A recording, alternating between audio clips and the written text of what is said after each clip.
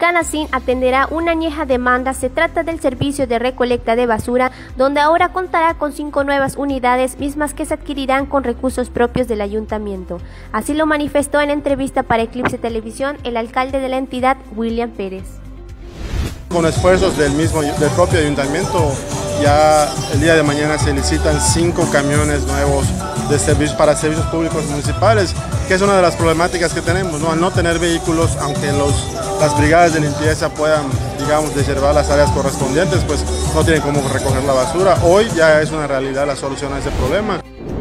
Pérez Cabrera agradeció a la ciudadanía su participación con el pago de sus impuestos, ya que con esto se hace posible la adquisición de estas nuevas unidades para servicio público.